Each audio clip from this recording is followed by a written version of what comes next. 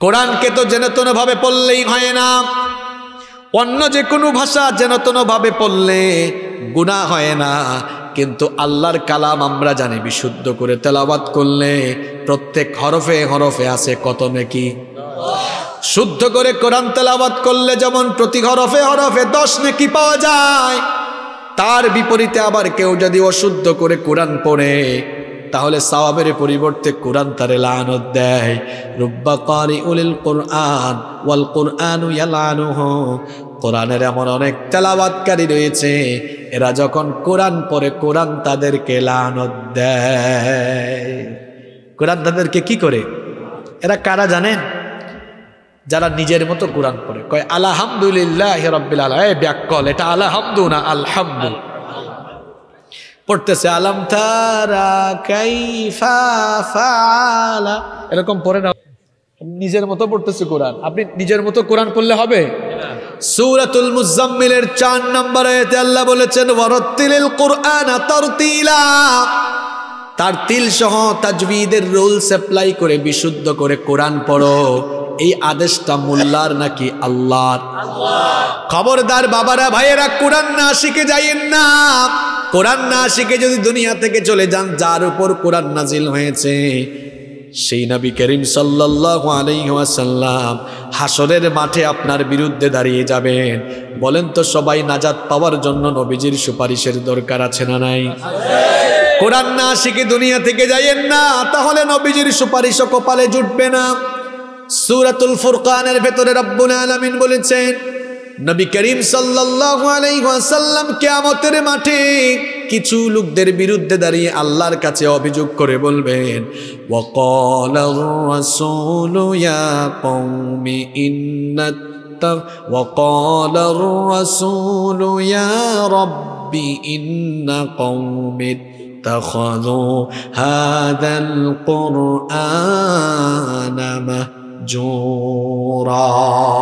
আল্লাহ তালা বলছেন, রসুল কামতের দিন বলবেন অগরব ইয়া রব্বি, হে রব মাহজুরা আমার উম্মতের এই লোকগুলো জীবন থেকে তারা কোরআনকে পরিত্যাগ করেছিল, জীবন থেকে কোরআনকে তারা বাদ দিয়েছিল। কোরআন পড়ে নাই, শিখে নাই, বুঝে নাই মানে নাই। দুনিয়ায় তারা যেভাবে তাদের জীবন থেকে কোরআনকে বাদ দিয়েছিল, অগরব আজ হাসরের মাঠে এই কপাল পোড়া লোকদেরকে সুপারিশ থেকে আমিও তাদেরকে বাদ দিলাম। কি অবস্থা হবে আপনার তখন বলেন? কি অবস্থা হবে আপনার তখন বলেন? আপনি যে কোরআনটা এখনও শিখলেন না। নবীজি যদি কারও বিরুদ্ধে দাঁড়িয়ে যান, তার নাজাতের কোনো সম্ভাবনা আছে? শুধু নবীজি নয়, স্বয়ং রব্বুল আলামিন। ওই লোকগুলোর কাছ থেকে মুখ ফিরিয়ে নিবেন। কেয়ামতের ঘটনা যেদিন ঘটবে, সকল মানুষদেরকে কবর থেকে তুলবেন কে? আসতে বলবেন না, আরেকটু জুড়ে বলেন কে? কোরআন না শিখে যারা দুনিয়া থেকে চলে যায়, কেয়ামতের দিন যখন কবর থেকে তোলা হবে, এই লোকগুলোকে অন্ধ করে দেওয়া হবে। অন্ধ অবস্থায় তাদেরকে কবর থেকে ওঠানো হবে। আল্লাহ তালা সুরাত এর মধ্যে বলেছেন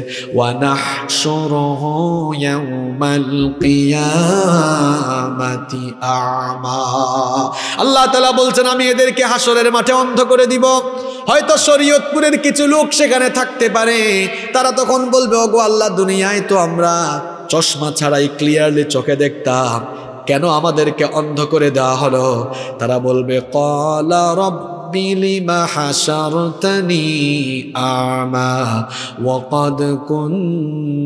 বাসীরা। এ যুবকরা, ভালো করে শোনো রে ভাই। আল্লাহ কোনো কথা কোরআনে গোপন রাখেন নাই। তুমি কোরআন শিখলে না এখানে। খুব দুঃখ লাগে তোমার জন্য।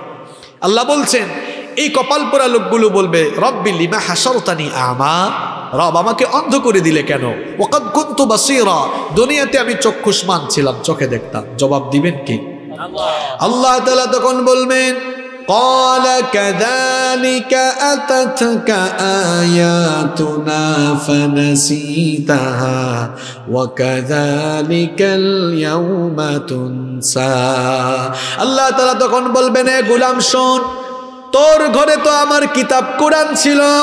তোর ঘরে আমার কোরআন, আমার কিতাব থাকা সত্ত্বেও একটা দিন কিতাব খুলে কোরআনটা পড়লি না, বুঝলি না।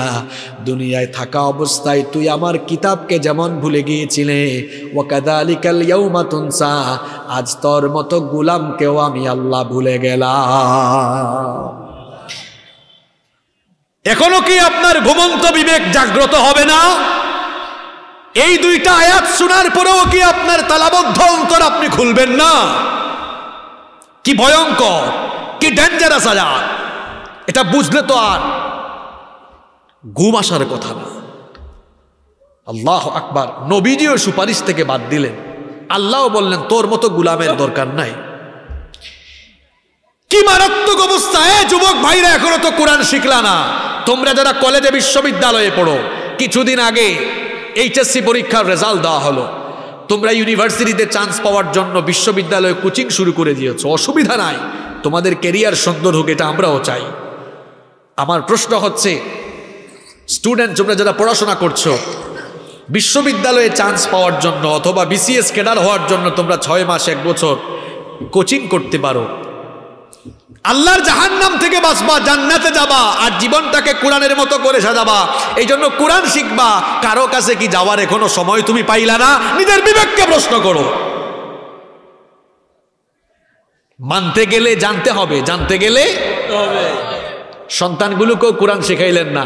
ওয়াজ মাহফিলের আয়োজন হলো হুজুর আসছে হুজুরকে বললেন হুজুর মা বাবার খেদমতের ওয়াজ করেন। এক ব্যাককল ব্যাককল বোঝেন তো আপনারা? এক ব্যাককল গাছ গাছ লাগায় নাই। গাছ না লাগিয়ে ফলের আশা করে বসে আছে। বেকুব, ব্যাককল ফল পাইতে হলে তো আগে গাছের চারা লাগাতে হয়। তারপরে গাছের গোড়ায় পানি ঢালতে হয়। এরপরে এই গাছের পরিচর্যা করতে হয়। তারপরে এটা বড় হলে এমনি ফল দিবে। গাছ না লাগিয়ে ফলের আশা করা যেমন বোকামি। ঠিক তেমনি সন্তান জন্ম দিয়ে সন্তানের হক আদায় না করে, এটাকে দিনই শিক্ষায় শিক্ষিত না করে, তার কাছ থেকে খেদমতের আশা করাও ততটা বোকামি। গাছ লাগিয়ে যেমন গাছের গোড়ায় পানি না ঢাললে গাছ মরে যায়, সন্তান জন্ম দিয়ে বাবা হওয়া যায়, সন্তানের জন্য পরিশ্রম না করলে দিনই শিক্ষা না দিলে এটা এডিক্টেড হয়ে, মাদকাসক্ত হয়ে, এটা চরিত্রহীন হয়ে ধ্বংসের অতল সাগরে হারিয়ে যাবে। আপনাকে গোড়ায় পানি ঢালতে হবে, পরিচর্যা করতে হবে, এটাকে দিন শিখাইতে হবে। অনেকে গর্ব করে বলে, আমি আমার ছেলেকে এলেভেলে পড়াচ্ছি অলেভেলে পড়াচ্ছি। আমি বললাম, আপনার ছেলে ইংরেজিতে তো কথা বলতে পারছে, সে কি কোরআন পারে? কয়, না, হুজুর, এটা শিখবে না পড়ে। কপাল বুড়া বাপ, আপনি আজ যদি মারা যান, এই সন্তান আপনার জানাজান নামাজও পড়ার যোগ্যতা রাখে না।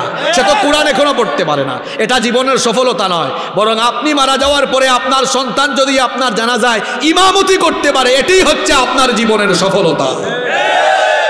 সন্তানগুলোকে এরকম বানিয়ে যান। আপনি মারা যাওয়ার পরে আপনার সন্তানটাই আরে আপনার সন্তান যদি জানা যায় ইমামতি করে সে তো প্রত্যেকটা তাকবির দিতে গেলে কলিজা মুচর দিয়ে উঠবে। চক্ষু থেকে অজর ধারায় পানি বের হবে। আরে ভাই, গোটা দুনিয়ার সাগর মহাসাগরের পানি ঢেলে দিয়ে কবরে জাহান নামের আগুন নেভানো যায় না। কিন্তু আপনার ছেলে, আপনার সন্তান যদি চোখের পানি ছেড়ে দিয়ে আল্লাহর কাছে দোয়া করে, তার চোখের পানি নাকের ডোগায় আসার আগে এই চোখের পানি জাহান নামের আগুনকে চিরতরে নিভিয়ে দিবে। সন্তানগুলোকে আপনারা এই জন্য দিন শিখান। কোরআন শিখান। নইলে কোরআন শিখাইলেন না, হাদিস শিখাইলেন না, দিন শিখালেন না, এটা ডাক্তার হবে। এটা কষাই আর অমানুষ ডাক্তার হবে। কোরআন, হাদিস না শিখে, ইসলাম না জেনে দিনই শিক্ষা বিবর্জিত হয়ে সে যদি ইঞ্জিনিয়ার হয়, রডের বজলে বাঁশ ঢুকায় দিবে। আজ পর্যন্ত শুনেছেন কোনো হুজুর, কোনো আলেম তার মা বাপকে ঘাট ধাক্কা দিয়ে বের করে দিয়েছে ঘর থেকে? কেন বের করবে? কারণ এই আলেম কোরআন পড়েছে কোরআন পড়তে গিয়ে দেখেছে। আল্লাহ বলেছেন ওয়ালা তানহার হুমা তোর মা বাপকে তুই ধমক দিস না। আদেশ করেছেন কে? আল্লাহ বলেছেন ওয়াকুল্লাহুমা কৌলান কারীমা তোর মা বাবার সাথে সম্মানজনক ভদ্র ভাষায় কথা বল। আদেশটা কার? সে পড়েছে এই জন্য মা বাপকে মাথায় তুলে সম্মানের সাথে রেখেছে। আর আপনি সন্তানগুলির সব শিখাইলেন। কোরআন শেখাইলেন না। Keep in your mind the old home is waiting for you আপনার মতো কপাল পুরা মা বাবার জন্য বৃদ্ধাশ্রম অপেক্ষা করছে। এই জন্য আমি বলছি, মানতে গেলে জানতে হবে, জানতে গেলে পড়তে হবে। সবার আগে আমার বাবারা, আমার যুবক ভাইরা, আমার বাবারা, আমার মায়েরা, বোনেরা, সবাইকে বলছি, আল্লাহর কোরআনটা শিখুন। এই যুবক ভাইদেরকে খুব ভালো লেগেছে আমার। এই যুবকরা এত সুন্দর মাহফিলের আয়োজন করেছে। এই যুবকদেরকে আজ আমি একটা অনুরোধ করে যাব। যুবক ভাইরা, অনুরোধটা রাখবেন? রাখবেন সবাই। যুবকদেরকে ভালো লাগে আমার, কারণ যুবকদেরকে অনুরোধ করলে তারা কথা দিয়ে ফেললে কথা রাখে। আপনারা খুব সুন্দর একটা মাহফিলের আয়োজন করেছেন। চেয়ারম্যান সাহেবও খুব আন্তরিক মানুষ। এখন সবাই মিলে এই এলাকায় যদি আপনারা একটা বয়স্ক কোরআন শিক্ষা কেন্দ্র চালু করতে পারেন, তাহলে কোরআন এখনও যারা শিখে নাই, ওখান থেকে কোরআন শিখে ফেলবে। আর যারা এই কোরআন শিক্ষা কেন্দ্রটা চালু করবেন সুভান আল্লাহ সত্যকে জারিয়া হয়ে যাবে এটা আপনার জন্য। মানুষ এখান থেকে কোরআন শিখবে, আপনি সওয়াব পাবেন, আপনার মা বাবা সওয়াব পাবে। পারবেন না একটা কোরআন শিক্ষা কেন্দ্র চালু করতে? যুবক ভাইরা, পারবেন তো ইনশাল্লাহ একজন হুজুর এখানে, একজন আলেম রেখে দিবেন, তিনি সবাইকে কোরআন শিখাবেন। এটা রাজনীতিমুক্ত একটা দিনই শিক্ষা কেন্দ্র থাকবে, যেখানে উদ্দেশ্য থাকবে যারা কোরআন শিখে নাই, এরা যেন কোরআনটা শিখে। উদ্দেশ্য কি? যেন বিশুদ্ধ করে তারা নামাজটা পড়তে পারে। পারবেন না ইনশাল্লাহ আল্লাহ তৌফিক দান করুন। السلام عليكم ورحمة الله وبركاته. إن الحمد لله الذي بنعمته تتم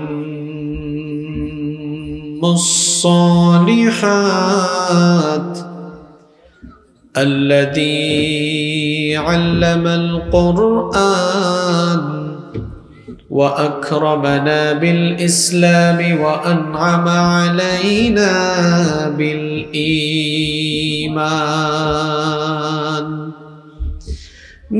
نستغفره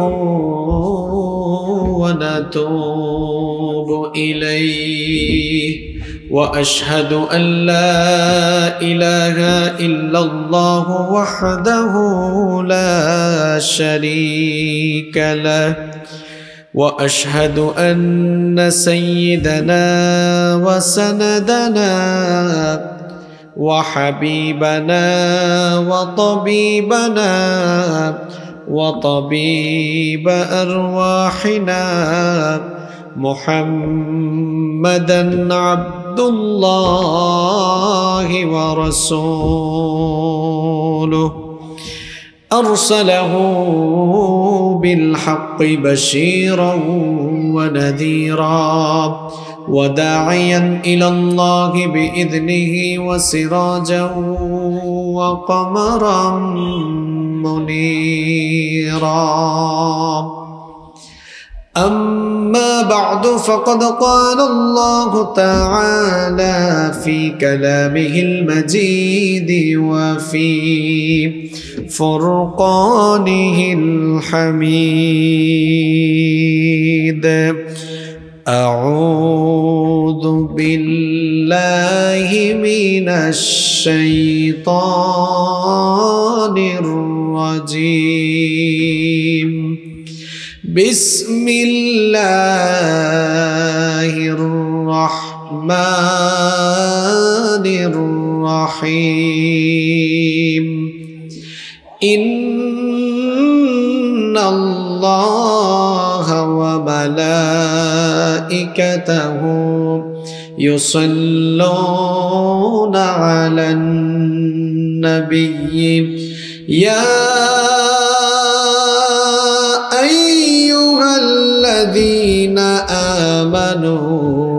صلوا عليه وسلموا تسليما সবাই মহব্বতের সঙ্গে দরুদ পাঠ করুন اللهم صل على محمد وعلى آل محمد كما صليت على إبراهيم وعلى آل إبراهيم إنك حميد مجيد.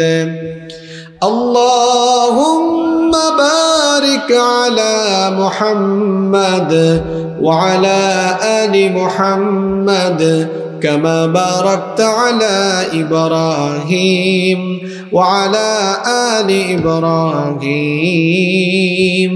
إنك حميد مجيد ربي زدني علما ربي زدني علما رب اشرح لي صدري ويسر لي أمري واحلل عقدة من لساني يفقه قولي. سبحانك لا علم لنا إلا ما علمتنا. إنك أنت العليم الحكيم. صدق الله العظيم.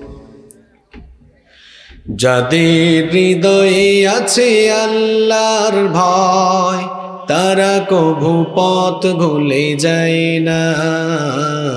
আল্লাহর প্রেম ছাড়াই দুনিয়ায় কারও কাছে কোনো কিছু চাই না। কারও কাছে কোনো কিছু চায় না।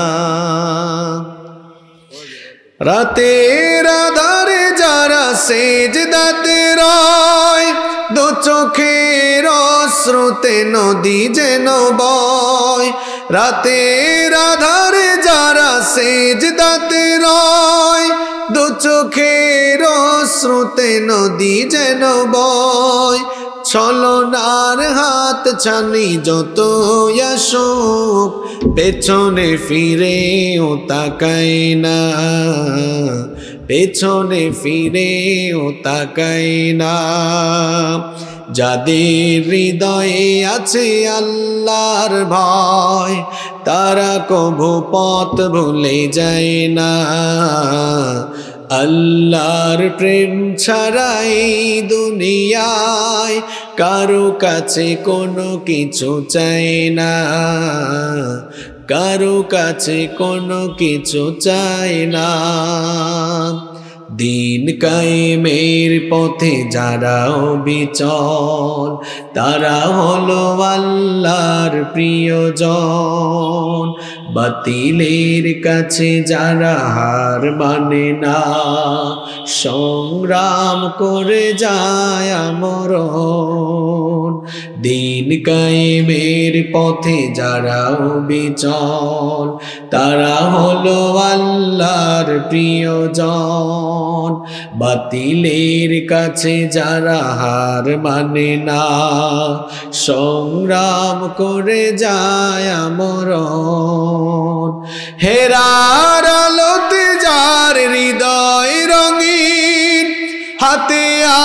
কোরআনের দীপ্ত সঙ্গীন হেরার আলোতে যার হৃদয় রঙিন হাতে আল জিহাদের দীপ্ত সঙ্গীন, সত্যের পথে যারা নিবেদিত প্রাণ, সত্যের পথে যারা নিবেদিত প্রাণ, শত্রুকে কভু ভয় পায় না, শত্রুকে কভু ভয় পায় না। যাদের হৃদয়ে আছে আল্লাহর ভয়, তারা কভু পথ ভুলে যায় না। আল্লাহর প্রেম ছাড়াই দুনিয়ায় কারও কাছে কোনো কিছু চাই না। কারও কাছে কোনো কিছু চাই না। কারও কাছে কোনো কিছু চাই না। বাংলাদেশের অত্যন্ত সুপরিচিত ঐতিহ্যবাহী শরীয়তপুর জেলার সদর উপজেলার তুলাসার ইউনিয়নের অন্তর্গত বাইশরশি জামে মসজিদ ও যুব সমাজের উদ্যোগে আয়োজিত আজকের এই তফসিরুল কোরআন মাহফিলের মোহতারাম শ্রদ্ধাভাজন সভাপতি। বিশিষ্ট সমাজসেবক, বিশিষ্ট রাজনীতিবিদ তুলাসার ইউনিয়ন পরিষদের সাবেক সফল চেয়ারম্যান, আপনাদের সকলের প্রিয়, সকলের পরিচিত জনাব আমিন উদ্দিন ফকির সাহেব। আতাল আল্লাহ আমরাহ ওবারক আল্লাহ ফি হায়াতিহি। আমরা সবাই বলি আমিন।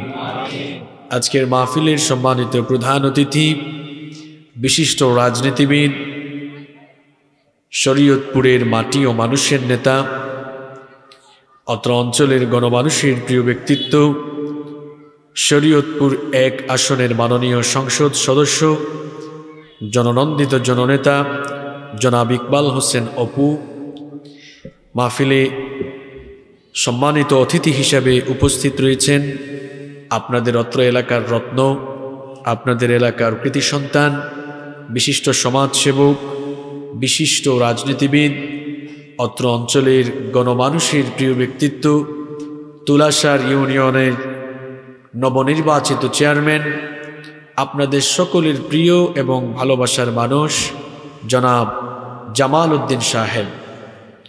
নাম হচ্ছে জামাল। জামাল মানে সুন্দর, আপনাদের চেয়ারম্যান সাহেব দেখতেও সুন্দর। আল্লাহ তালা ওনাদেরকে কোরআনের জন্য, ইসলামের জন্য দিনের খেদমতে কবুল করুন আমরা সবাই বলি আমিন।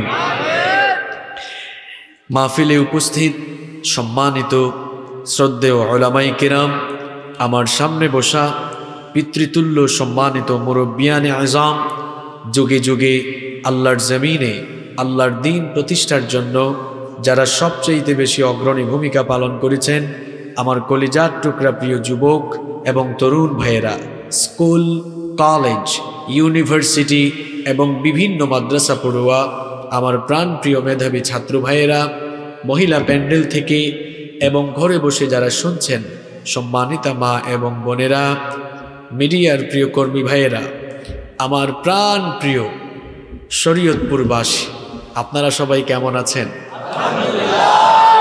এখানে যারা দাঁড়িয়ে আছেন, আপনারা কি ভালো নেই? এই যে পেছনে জায়গা আছে। আর আপনারাও বসে গেলেন এই দিকে অনেক মানুষ কিন্তু আসতেছেন। তো ওনারা এসে ভাববেন, হায় রে হায়, মনে হয় প্যান্ডেলে বসার আর জায়গা নেই। এই জন্য স্বেচ্ছাসেবক ভাইরা এখানে দাঁড়িয়ে থাকবেন। যারা আসবে, পেছন দিকে ঢুকিয়ে দিবেন। ইনশা আল্লাহ সবাই ভালো আছেন আপনারা? আলহামদুলিল্লাহ। আমাদের সবাইকে সুস্থতার সাথে বাঁচিয়ে রেখে কোরআনের এই বরকতময় মাহফিলে আসার তৌফিক যিনি দিয়েছেন, তিনি কে? সেই মহান রবের জন্য হৃদয়ের সবটুকু ভালোবাসা, আবেগ অনুভূতিকে উজাড় করে দিয়ে খুশি মনে, প্রাণবন্ত আওয়াজে, উচ্চ কণ্ঠে কালেমত শুকুর আদায় করি। আমরা সকলেই পড়ছি, আলহামদুলিল্লাহ। আজকের এই মাহফিলে আসতে পেরে আপনারা খুশি না বেজার? যুবক ভাইয়েরা, অনেক কষ্ট করে আজকের এই প্রোগ্রাম অর্গানাইজ করেছে। আপনাদের এই এলাকারই চেয়ারম্যান সাহেব, তিনি যুবকদেরকে অনেক সাপোর্ট দিয়েছেন এবং যুবকরা আয়োজন করেছে। আয়োজক যুবক, চেয়ারম্যান সাহেব যুবক, হুজুরও যুবক, সব যুবক এক জায়গায়, আলহামদুলিল্লাহ। যুবক ভাইরা অক্লান্ত পরিশ্রম করে, অনেক কষ্ট করে, খুব অল্প দিনে, অল্প সময়ে স্থানীয় মেম্বার সাহেব, তিনিও যুবকদেরকে নিয়ে অনেক কষ্ট করেছে মেম্বার সাহেব তো নিজেই আমাকে এগিয়ে আনলেন। অনেক কষ্ট করছেন।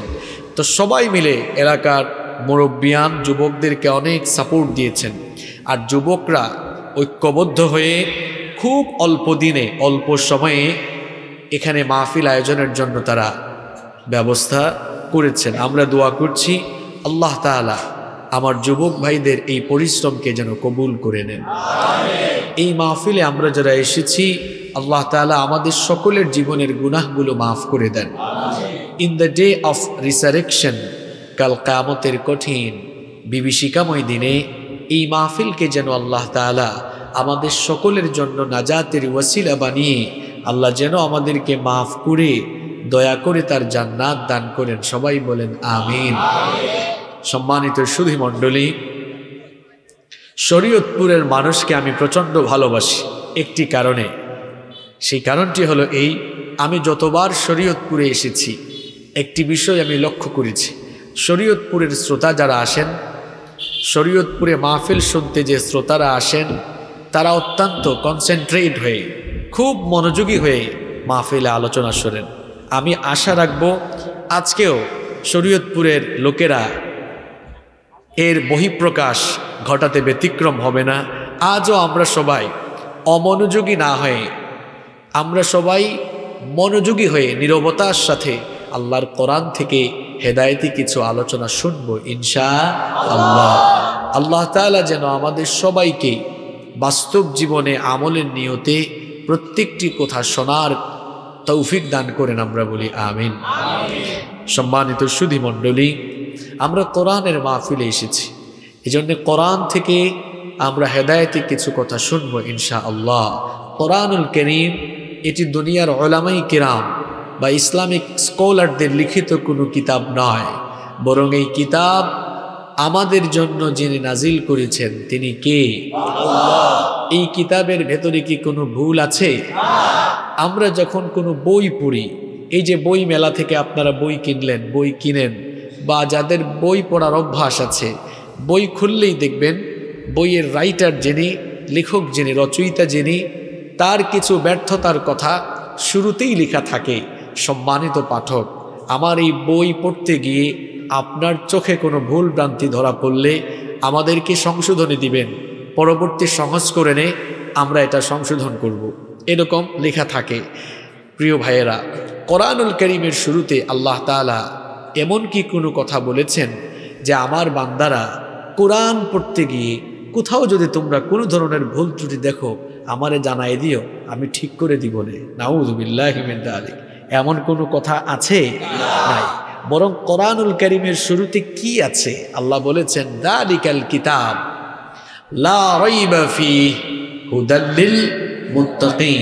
this is the book the most authentic and original book in this world where of there is no doubt about it and it's a guidance for those who are মুত্তাকিম এমন একটি কিতাব তোমাদের জন্য নাজিল করেছি। যেখানে সন্দেহ আছে, এ ব্যাপারেও কোনো সন্দেহ করা যায় না। আল্লাহ আকবর। মুত্তাকিনদের জন্য এই কিতাবকে হেদায়েতের গাইডলাইন বানিয়ে যিনি নাজিল করেছেন, তিনি কে? এই কোরআন, এটি এসেছে মানুষের জীবনকে পরিবর্তন করার জন্য। এই কোরআন আল্লাহ দিয়েছেন আমাদেরকে, আমরা যেন এই পৃথিবীতে কোরআনের আলোকে জীবন পরিচালনা করতে পারি।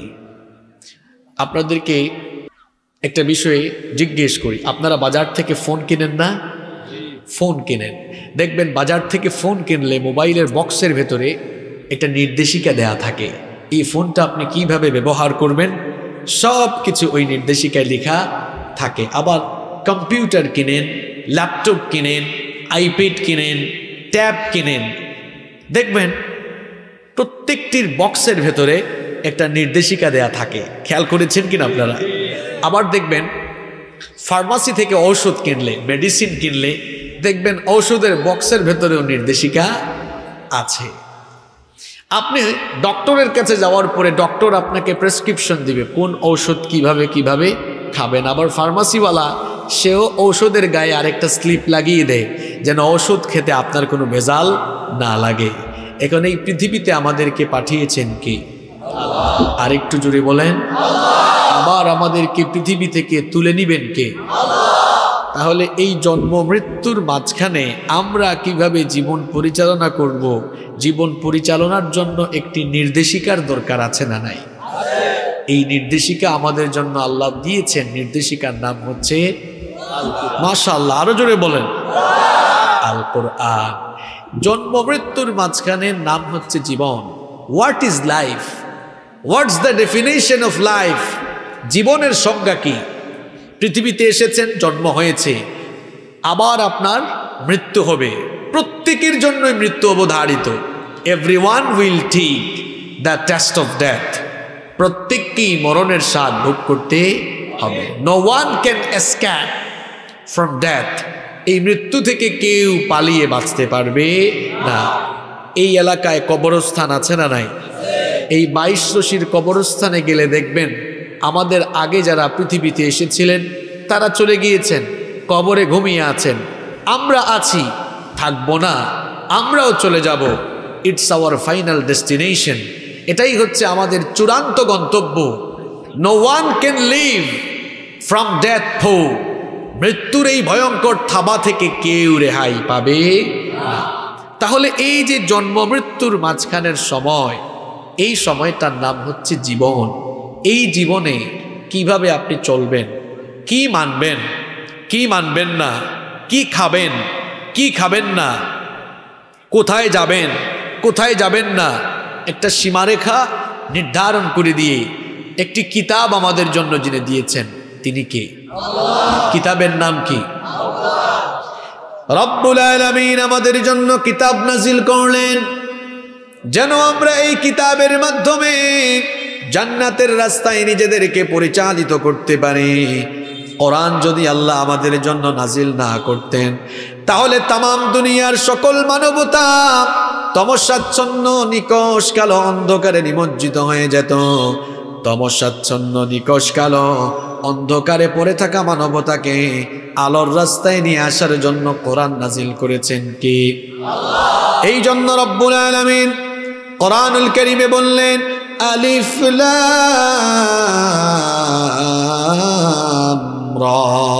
কিতাবুন আনজালনাহু ইলাইকা লিতুখরিজান নাসা মিনাজ যুলুমাতি ইলান নূর। এই লাইটগুলো অফ করে দেন আমার মনে হয় অফ করে দিলে চলে যেতে পারে। এগুলো তো ছিল না হঠাৎ করে আসছে তাই না? একটু অফ করে দেন।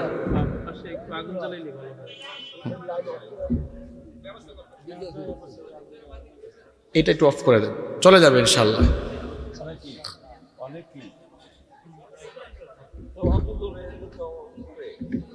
আচ্ছা সম্মানিত ভাইয়েরা প্লিজ কেউ অমনোযোগী হবেন না। লাইট অফ করে দিলে ঠিক হয়ে যাবে ইনশাল্লাহ তো আল্লাহ তাআলা বলছেন আমার হাবিব, আমি আপনার উপরে এই কিতাব নাজিল করেছি। যেন আপনি তমসাচ্ছন্ন নিকোষ কালো পড়ে নিকোষ কালো অন্ধকারে পড়ে থাকা মানবতাকে আলোর রাস্তায় নিয়ে আসতে পারেন। এই কিতাব দিয়ে মানুষেরা যেন আলোর রাস্তায় নিজেদের জীবনকে পরিচালনা করতে পারে। এই জন্য কোরআন আমাদের জন্য নাজিল করেছেন কে?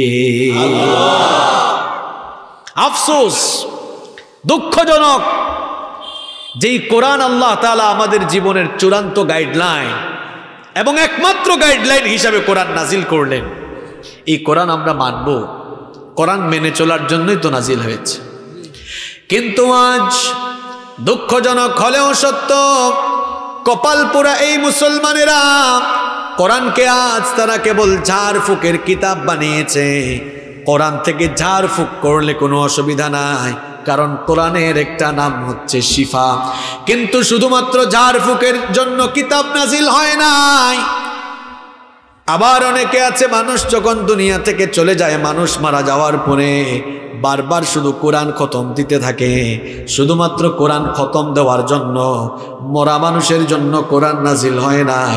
বরং আমরা যারা জীবিত মানুষ, জীবিত অবস্থায় কোরআন পড়ে, কোরআন বুঝে, কোরআন থেকে জীবন পরিচালনার পাথেও সংগ্রহ করে, কোরআনময় জীবন পরিচালনার জন্য কোরআন আমাদের জন্য নাজিল করেছেন কে? কিন্তু আজ এই কোরআন যে আমরা মানব, আরে ভাই, মানতে গেলে তো জানতে হয়, জানতে গেলে পড়তে হয়। না, স্লোগানটা ভালো করে শিখে যান। এখন তো পোকাগুলো আবার মানুষের ওখানে চলে গেল। এগুলো তো এতক্ষণ ছিল না। মনে হয় পেছন থেকে আগুন ধরাই দিলে।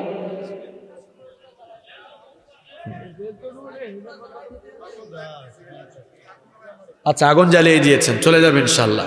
তাহলে শোনেন, কোরআন এটি এসেছে কোরআন মেনে জীবন পরিচালনার জন্য। মানতে গেলে জানতে হয়। জানতে গেলে এটা আপনাদেরকে মুখস্থ করা লাগবে। মানতে গেলে জানতে হয়।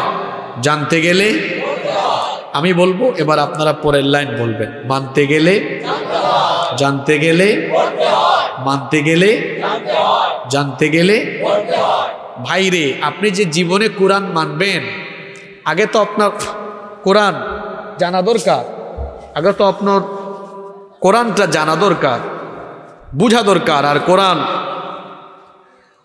জানার জন্য, বুঝার জন্য আপনাকে কোরআন পড়া দরকার। আপনি তো কোরআন এখনও পড়তেও পারেন না। ইংরেজিতে সুন্দর করে কথা বলতে পারেন, কিন্তু এখনও আপনি শুদ্ধ করে কোরআনটা পড়তে পারেন না। আমরা অনেকেই কোরআনকে আমাদের লাইফের অপশনাল ম্যাটার বানিয়ে ফেলেছি। আমরা নিজেরা কোরআন পড়ি না। কোরআনটা শেখার চেষ্টাও করি না। কেন? আমরা অনেকে মনে করি যে কোরআন, এটি তো মোল্লা মৌলভীদের কিতাব। এটা হুজুরদের কিতাব। বলেন, কোরআন কি মোল্লা মৌলভীদের কিতাব? কোরআন কি হুজুরদের কিতাব? কোরআন হচ্ছে সকল মানুষের জন্য নাজিল হওয়া কিতাব। কিন্তু আপনি এখনও কোরআনটা পড়তে পারেন না। অনেকে বলে, হুজুর, এই কোরআন আমরা কেন শিখব? আমরা এখন বিজ্ঞানের যুগে বাস করছি। আধুনিক বিজ্ঞানের যুগে বাস করে আমরা কি দেড় হাজার বছর আগে নাজিল হওয়া মধ্যযুগীয় কিতাব পড়ব? আমরা তো বিজ্ঞান মনস্ক মানুষ।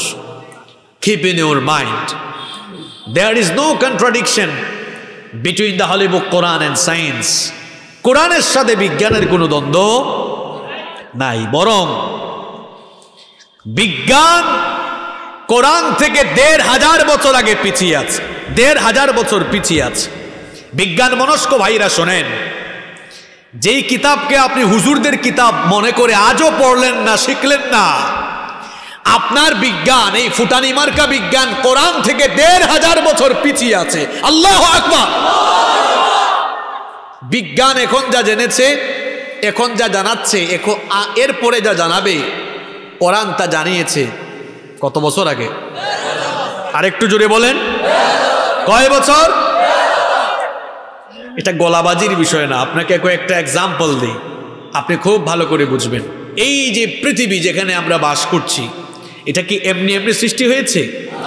How the universe was created এই মহাবিশ্ব কীভাবে পয়দা হয়েছে, এই মহাবিশ্বের উৎপত্তি হলো কীভাবে? স্টিফেন হকিং এর বিগ ব্যাং থিওরির আলোকে মহাকাশ বিজ্ঞানীরা বললেন, এই মহাবিশ্বের সব কিছু অর্থাৎ নবমণ্ডল, ভূমণ্ডল, দোলক, ভোলক, আসমান, জমিন, সূর্য, চন্দ্র, নক্ষত্র তারকাপুঞ্জ ব্ল্যাক হোল মিল্কওয়ে সৃষ্টির শুরুতে সব কিছু এক জায়গায় জমাট বাঁধা একত্রিত ছিল, পুঞ্জীভূত অবস্থায় ছিল, তখন সব কিছু ছিল একটি গ্যাসীয় কণার সমষ্টি। এরপরে মহাশূন্যে মহাবিস্ফোরণ ঘটল। মহাশূন্যে যখন মহাবিস্ফোরণ ঘটল, তখন সকল সৃষ্টি পরস্পর সেপারেট হয়ে আলাদা আলাদা হয়ে গেল। মহাবিস্ফোরণের মাধ্যমে সব কিছু আলাদা হয়ে যে ঘটনাটি ঘটল, বিজ্ঞান তার নাম দিয়েছে বিগ ব্যাং থিওরি, যা বর্তমান পৃথিবীর সবচাইতে আলোচিত তত্ত্ব। মহাবিশ্বের উৎপত্তি সম্পর্কে বিজ্ঞান যেই তথ্য মাত্র কিছুদিন আগে দিয়েছে, যেই কিতাবকে আপনি মোল্লা মৌলভীদের কিতাব মনে করেন যেই কোরআনকে আপনি হুজুরদের কিতাব মনে করে যেই কোরআন আপনি ঠিকমতো পড়েন না নিজের সন্তানদেরকেও শিখালেন না। ওই কোরআনের ভেতরে আজ থেকে দেড় হাজার বছর আগে বিগ ব্যাং থিওরি মহাবিশ্ব উৎপত্তির এই ধারণা এই তত্ত্ব কোরআনের ভেতরে দেড় হাজার বছর আগে দিয়েছেন কি? আল্লাহ। আরও দেড় হাজার বছর আগে রব্বুল আলমিন কোরআন নাজিল করে আমাদেরকে জানিয়েছেন আওয়ালাম ইয়ারাল্লাযী الذين كفروا أن السماوات والأرض كانتا رتقا ففتقناهما আল্লাহ তালা বলছেন অবিশ্বাসীরা কি দেখে না সৃষ্টির শুরুতে আসমান সমূহ আর জমিন একত্রিত অবস্থায় ছিল অতপর আমি সেগুলোকে আলাদা করে দিলাম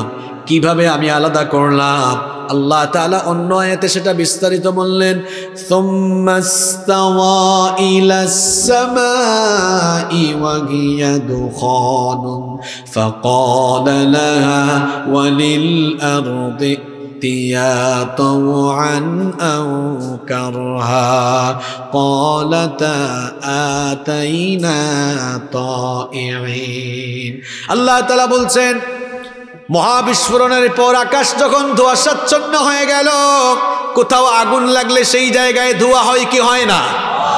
মহাশূন্যে যখন মহাবিস্ফোরণ হয়ে গেল আসমান তখন ধোঁয়াশাচ্ছন্ন হয়ে গেল। রব্বুল আলমিন বললেন, আমি তখন ধোঁয়াশাচ্ছন্ন আকাশের দিকে মনোনিবেশ করে আসমান আর জমিনকে অর্ডার দিলাম। তারা যেন পরস্পর সেপারেট আলাদা হয়ে যায়। আসমান জমিন তখন জবাব দিল আমরা আমাদের রবের হুকুম মেনে অনুগতদের মতো অস্তিত্ব মান অবস্থায় ফিরে গেলাম। নাইনটিন নাইন, উনিশশো উনআশি সালে সৌদি আরবের রাজধানী রিয়াদে একটি কনফারেন্স হয়েছিল। সেই কনফারেন্সের নাম ছিল মুক্তামার আশাবাব ইউথ কনফারেন্স সেই কনফারেন্সে ইউনাইটেড স্টেট অফ আমেরিকার বিখ্যাত সায়েন্টিস্ট বালমার উপস্থিত ছিলেন। ওই কনফারেন্স হলে যখন এই দুটি আয়াত তেলাওয়াত হলো, সে দাঁড়িয়ে গেল, দাঁড়িয়ে বলল স্টপ একটু থামো। হাউ ইজ ইট পসিবল এটা কীভাবে সম্ভব? মহাবিশ্ব উৎপত্তির যেই তথ্য পৃথিবীবাসীকে আমরা এত কষ্ট করে গবেষণা করে মাত্র কিছুদিন আগে জানালাম, এটা কোন বই? যে বই থেকে তেলাবাত করে এই আজীব তথ্য এই কনফারেন্স রুমে শোনাচ্ছ, বলা হলো, এটা এই যুগের কোনো কিতাব নয়। এটা আজ থেকে দেড় হাজার বছর আগে নাজিল হওয়া আল্লাহর কিতাব কোরআন। সে তখন বলল, দেড় হাজার বছর আগে স্যাটেলাইট ছিল না, দেড় হাজার বছর আগে বিজ্ঞান এত উন্নত ছিল না, বিজ্ঞানী ছিল না। সেই সময়ে মহাবিশ্ব উৎপত্তির এই সাইন্টিফিক ধারণা যে কিতাবে এসেছে, এ কিতাব আবুল তাবুল কোনো কিতাব নয়। আর এই কিতাব যেন তেন কারও লেখা কিতাব নয়, নিশ্চয়ই মহাবিশ্বের কারিগর যিনি এই কিতাবও নাজিল করেছেন তিনি। সুতরাং আমি আর গুমরাহিতে পড়ে থাকতে চাই না। ওই কনফারেন্স হলে সবাইকে সাক্ষ্য রেখে সে কালেমা পড়ে মুসলমান হয়েছে। এই হচ্ছে আল্লাহর কিতাব কোরআন। কপাল পোড়া মুসলমান। পৈতৃক সূত্রে, বংশসূত্রে মুসলমান দাবি করে আজও সে কোরআন পড়ল না, বিজ্ঞানের ফুটানি করে বিজ্ঞান পড়ে, অথচ কোরআন পড়ল না, অথচ তার সেই বিজ্ঞান কোরআন থেকে দেড় হাজার বছর পিছিয়ে আছে। শুধু কি এটা? আমি তো কোরআনিক সায়েন্স, কোরআন বিজ্ঞান নিয়ে পড়াশোনা, গবেষণা করে আসা মানুষ। আল্লাহর কোরআনে ছয় হাজার দুইশো ছয়ত্রিশটা আয়াত আছে। তার মধ্যে দেড় হাজার আয়াত আছে কেবলমাত্র বিজ্ঞানের ব্যাপারে সুবাহান আল্লাহ physics chemistry biology astronomy geology বিজ্ঞানের হিউম্যান এমব্রয়োলজি বিজ্ঞানের এমন কোনো শাখা নেই যে শাখার ব্যাপারে আল্লাহর কোরআনের কোনো সে নাই, এমন কোনো শাখা নাই। আল্লাহ আকবার। এই পৃথিবীর সেই পৃথিবীর আকৃতি কেমন? পৃথিবীর আকৃতির ব্যাপারে বিজ্ঞান এক এক সময় এক এক কথা বলে মানুষের সঙ্গে রীতিমতো তামাশা করেছে। প্রাচীনকালের বিজ্ঞানীরা বলতেন, পৃথিবী মনে হয় চ্যাপ্টা বা সমতল বিজ্ঞান উন্নত হলো, উন্নত হতে হতে পনেরোশো সাতানব্বই সালে, এখন কত দু হাজার বাইশ সাল। পনেরোশো সাতানব্বই সালে ফ্রান্সিস ড্র্যাক জলপথে ভ্রমণ করে বললেন প্রাচীনকালের বিজ্ঞানীদের দেওয়া তথ্য, পৃথিবী চ্যাপ্টা বা সমতল, এটা আসলে ভুল। আমি জলপথে ভ্রমণ করে দেখলাম, পৃথিবী আসলে গোল। পনেরোশো সাতানব্বই সালে বিজ্ঞান যে জায়গায় ছিল, আজকের দু হাজার বাইশ সালে বিজ্ঞান কি সেম জায়গায় আছে? না, বিজ্ঞান অনেক উন্নত হয়েছে। উন্নত হতে হতে বর্তমান আধুনিক বিজ্ঞান স্যাটেলাইটের যুগে এখন প্রবেশ করেছে। আধুনিক বিজ্ঞান বলল, পনেরোশো সাতানব্বই সালের দেওয়া তথ্য পৃথিবী গোল, আজকের আধুনিক বিজ্ঞানে তা ভুল। আধুনিক বিজ্ঞান, আধুনিক বিজ্ঞানীরা বললেন, আধুনিক যুগের বিজ্ঞানীরা বললেন, পৃথিবী আসলে গোল নয়। কে বলতে পারবেন? পৃথিবী কীরকম বলেন তো? এই তো, ডিম্বাকৃতির, ডিমের সাইজ যেমন, পৃথিবীর সেই আকৃতিটাও আপনার বিজ্ঞান পৃথিবীর আকৃতির ব্যাপারে মাত্র কয়েক বছর আগে সুস্পষ্ট কথা পৃথিবীবাসীকে জানিয়েছে। কিন্তু যেই কিতাবকে আপনি মোল্লা মৌলবীদের কিতাব বলেন যেই কিতাবকে আপনি হুজুরদের কিতাব মনে করে নিজে কোরআন পড়লেন না, নিজের বাচ্চাগুলোকে কোরআন শেখালেন না, ওই কোরআনে এই সাইন্টিফিক কথা দেড় হাজার বছর আগে আমাদেরকে জানিয়েছেন কি?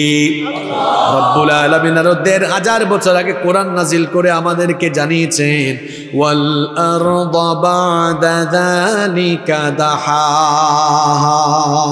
আল্লাহু আকবার। উট পাখির ডিমকে আরবিতে বলা হয় দাহা। আল্লাহ তালা বললেন, ওয়াল দাহাহা। এই পৃথিবীকে, জমিনকে আমি উট পাখির ডিমের মতো ডিম্বাকৃতির করে বানিয়েছি। আল্লাহ আকবার। বলেন, কোরআন আগে না বিজ্ঞান আগে? কোরআন বিজ্ঞানের চেয়ে কত বছর এগিয়ে আছে? মনে রাখবেন বিজ্ঞান যত উন্নত, সমৃদ্ধ আর বিকশিত হবে, পৃথিবীর বিজ্ঞান আর বিজ্ঞানীরা ভিক্ষুকের মতো অসহায় হয়ে মাথা নত করে কোরআনের সামনে চিরকাল দাঁড়িয়ে থাকবে। এই যে ফিঙ্গারপ্রিন্ট আরবিতে বলা হয় বাসমা, ইংরেজিতে বলা হয় ফিঙ্গারপ্রিন্ট আর বাংলায় আমরা বলে ফেলি টিপসই। মানুষের হাতে আঙ্গুল আছে কয়টা? কয়টা? দশটা। এক আঙ্গুলের ছাপের সাথে আরেক আঙ্গুলের ছাপের কি কোনো মিল আছে? পাসপোর্ট অফিসে যখন আপনারা পাসপোর্ট করতে যান দেখবেন দশ আঙ্গুলের ছাপ নেই। এমনকি আপনারা যে মোবাইল ফোন ইউজ করেন দেখবেন মোবাইল ফোনের সিম রেজিস্ট্রেশন করতে গেলে দশ আঙ্গুলের ছাপ নেই। আবার দেখুন আপনার আঙ্গুলের ছাপের সাথে আমার আঙ্গুলের ছাপের কোনো মিল নাই। পৃথিবীতে আটশো কোটি মানুষ বাস করে একজনের ফিঙ্গারপ্রিন্টের সাথে আরেকজনের ফিঙ্গারপ্রিন্টের কোনো মিল কারিশমাটা কার? আঠারোশো সাল, এখন দু হাজার বাইশ সাল। আঠারোশো সালের আগে পৃথিবীর মানুষ ফিঙ্গারপ্রিন্ট সম্পর্কে জানতই না। সর্বপ্রথম ইংল্যান্ডে এই তথ্য আবিষ্কার হয়। আঠারোশো ছাপ্পান্ন সালে ব্রিটিশ বিজ্ঞানী উইলিয়াম হার্সেল মানবদেহের উপরে গবেষণা চালিয়ে ফিঙ্গারপ্রিন্টের এই তথ্য পৃথিবীতে তিনিই প্রথম আবিষ্কার করেন। আজ থেকে মাত্র একশো ষাট, সত্তর বছর আগে আপনাদের বিজ্ঞান ফিঙ্গারপ্রিন্টের কথা জেনেছে একজনের ফিঙ্গারপ্রিন্টের সাথে আরেকজনের ফিঙ্গারপ্রিন্টের মিল নাই। অভিন্ন ফিঙ্গারপ্রিন্টের এই ধারণা বিজ্ঞান মাত্র একশো ষাট সত্তর বছর আগে দিয়েছে। কিন্তু ফিঙ্গারপ্রিন্টের এই কারিশমাটিক তথ্য দেড় হাজার বছর আগে কোরআন নাজিল করে আমাদেরকে জানিয়েছেন কে?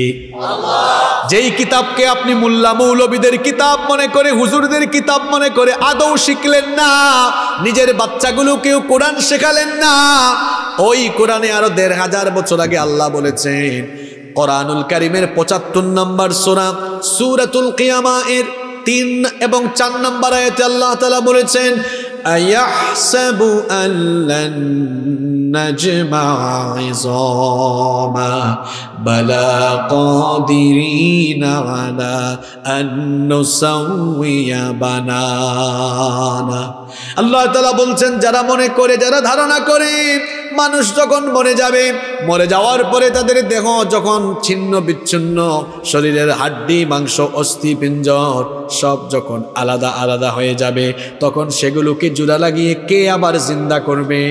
এমন কথা যারা বলে, আল্লাহ তাদের কথার জবাব দিয়ে বললেন, বান্দারে শোন, তুই মরে যাওয়ার পর তোর দেহ, অঙ্গ, প্রত্যঙ্গ সব যখন ছিন্ন বিচ্ছিন্ন আলাদা হয়ে যাবে, সেগুলোকেই কেবল আমি জোড়া লাগাবো না, বরং তার পাশাপাশি তার পাশাপাশি তোমাদের প্রত্যেকের হাতের আঙ্গুলের যে মাথা, এই আঙ্গুলের ছাপ পর্যন্ত আমি আবার পুনর্বিন্যস্ত করব। বলেন, কোরআন আগে না বিজ্ঞান আগে? যদি কোরআন আগে হয়, আপনার জীবনে তো বিজ্ঞান আগে, কোরআন তো পড়ে। আপনি তো বিজ্ঞান শিখেছেন, কোরআন শিখেন নাই। যদি আপনাদের কথা অনুযায়ী বিজ্ঞানের আগে কোরআন হয়, বাচ্চাকে আপনারা ও আকক এবিসিডি শিখাইলেন আগে আলিফ বা তাথা তো এখনও শিখাইলেন না যদি এই কথা মতো আপনারা যদি এই কথার উপরে ঐক্যমত থাকেন যে হুজুর বিজ্ঞানের আগে কোরআন, তাহলে শুনুন, আমি আপনাকে বলছি, আপনার সন্তানকে ও আকক এবিসিডি শিখাবেন পড়ে আলিফ বা তাথা শেখাবেন আগে children the Holy Book Quran. The Holy Book Quran will teach your children everything. আপনার সন্তানকে কোরআন শিখা দেখবেন এই কোরআন আপনার সন্তানকে গোটা পৃথিবীর জ্ঞান বিজ্ঞানের সাথে পরিচিত করে দিবে। সুবাহান আল্লাহ কি মনে করেন? এই কোরআনটা হুজুরদের কিতাব? কপাল পুরা আপনি এখনও কোরআন পড়লেন না। সব শিখে ফেলেছেন, আপনি কোরআন পড়েন নাই। আপনার জ্ঞান, আপনার পাণ্ডিত্য কখনো পূর্ণতায় পৌঁছাবে না। It's the source of knowledge and science এই কিতাব জ্ঞানের কিতাব। এই কিতাব হেকমা প্রজ্ঞাময় কিতাব। এই কিতাবের ভেতরে জ্ঞানের এক মহাসমুদ্র রয়েছে। এই মহাসমুদ্রে ঝাঁপ দিলে কিনারাও খুঁজে পাবেন না। আপনি আল্লাহ আকবার। এই যে আমি কোরআনের কথা বলছি, কোরআনের তাফসির কি আজকে শুরু হয়েছে? দেড় হাজার বছর আগে শুরু হয়েছে। এখনও চলছে। কিয়ামত পর্যন্ত চলবে। তাফসিরের কোনো দিশাও মানুষ খুঁজে পাবে না। আল্লাহ আকবার। এই জন্য আল্লাহ কোরআনে বলেছেন قل لو كان البحر مدادا لكلمات ربي لنفد البحر قبل أن تنفد كلمات ربي ولو جئنا بمثله مددا আল্লাহ তালা বললেন "ও নবী আপনি জানিয়ে দেন এই দুনিয়াতে যত সাগর আর মহাসাগর রয়েছে একটা দুইটা মহাসাগর নয় কেবলমাত্র আটলান্টিক মহাসাগর নয়। প্রশান্ত মহাসাগর নয়। আল্লাহ তালা বললেন, এই দুনিয়ায় যত সাগর আর মহাসাগর রয়েছে, সকল সাগর আর মহাসাগরের পানিকে যদি কলমের কালি বানানো হয়, আর সেই কলমের কালি দিয়ে যদি তোমার রবের কথাগুলো লেখা শুরু হয়ে যায়, তামাম দুনিয়ার সাগর আর মহাসাগরের পানি ফুরিয়ে যাবে, কিন্তু তোমার রবের কথাগুলো লিখে শেষ করা যাবে না। বিশাল এক জ্ঞানের সাম্রাজ্য, অসীম জ্ঞানের কিতাবে কোরআন। আমি কোন জায়গা থেকে শুরু করছি আপনাদের মনে আছে? মনে রাখবেন, আমি কথা কথা বলা শুরু করেছিলাম। কোরআন আল্লাহ নাজিল করেছেন। ওই যে মোবাইলের উদাহরণ, মোবাইলের বক্স, ল্যাপটপের বক্স, ফার্মাসির ওষুধের বক্স। উদাহরণ দিয়েছিলাম না? হ্যাঁ মনে পড়ছে আপনাদের? ওই তখনই পোকা চলে আসছিল। একটু অনেক অমনোযোগী হয়ে গেছে। তো এগুলোর জন্য যেমন নির্দেশিকা আছে, আমাদেরকে দুনিয়ায় পাঠালেন কে? জীবনে চলবেন কেমনে? আল্লাহ একটা দিক নির্দেশনাময় কিতাব দিয়েছেন। কিতাবের নাম? এখন কোরআন মানতে হবে। না মানলে দুনিয়া বরবাদ আখেরা তো আপনি যে মানবেন, ওই যে স্লোগান শুরু করেছিলাম, মানতে গেলে জানতে হয়, জানতে গেলে ওই এক নম্বর পয়েন্টে আমি কথা বলছি এখন পড়তে হয়। আপনি তো কোরআন পড়েন নাই। কোরআন শিখেন নাই, আপনার বয়স তিরিশ, চল্লিশ বছর হয়ে গেছে। কি দুর্ভাগ্য এখনও আপনি কোরআন পড়লেন না। আচ্ছা ভাই, আপনি যে নামাজ পড়েন, কীভাবে নামাজ পড়েন? আমি তো বুঝি না। অন্তত পাঁচ ওয়াক্তের নামাজকে শুদ্ধ করে, কবুলযোগ্য করার জন্য তো আপনার বিশুদ্ধ কোরআন শেখা দরকার। কোরআনকে তো যেন ভাবে পড়লেই হয় না। অন্য যে কোনো ভাষা যেন ভাবে পড়লে গুণা হয় না। কিন্তু আল্লাহর কালাম আমরা জানি, বিশুদ্ধ করে তেলাবাত করলে প্রত্যেক হরফে হরফে আছে কত নাকি শুদ্ধ করে কোরআন তেলাবাত করলে যেমন প্রতি হরফে হরফে দশ নাকি পাওয়া যায়, তার বিপরীতে আবার কেউ যদি অশুদ্ধ করে কোরআন পড়ে তাহলে সাওয়াবের পরিবর্তে কোরআন তারে লানত দেয়। রুব্বা কারি উলিল কোরআন ওয়াল কোরআন ইয়ালানুহু। কোরআনের এমন অনেক তেলাবাতকারী রয়েছে, এরা যখন কোরআন পড়ে, কোরআন তাদেরকে লানত দেয়। কোরআন তাদেরকে কি করে? এরা কারা জানেন? যারা নিজের মতো কোরআন পড়ে। কয়, আলহামদুলিল্লাহ রব্বিল এ ব্যাকল এটা আলহামদু না আলহামদু? পড়তেছে, আলম তারা কাইফা এরকম পড়ে না। নিজের মতো পড়তেছে কোরআন। আপনি নিজের মতো কোরআন পড়লে হবে? সূরাতুল মুজাম্মিলের 4 নম্বর আয়াতে আল্লাহ বলেছেন, ওয়ারাত্তিলিল কুরআন তারতিলা। তার তিল সহ তাজবিদের রুলস অ্যাপ্লাই করে, বিশুদ্ধ করে কোরআন পড়ো। এই আদেশটা মোল্লার নাকি আল্লাহর? খবরদার বাবারা, ভাইয়েরা, কোরআন না শিখে যাইয়েন না। কোরআন না শিখে যদি দুনিয়া থেকে চলে যান, যার উপর কোরআন নাজিল হয়েছে। সেই নবী করিম সাল্লাল্লাহু আলাইহি ওয়াসাল্লাম হাসরের মাঠে আপনার বিরুদ্ধে দাঁড়িয়ে যাবেন। বলেন তো, সবাই নাজাত পাওয়ার জন্য নবীজির সুপারিশের দরকার আছে না নাই? কোরআন না শিখে দুনিয়া থেকে যাইয়েন না, তাহলে নবীজির সুপারিশও কপালে জুটবে না। সুরাতুল ফুরকানের ভেতরে রব্বুল আলামিন বলেছেন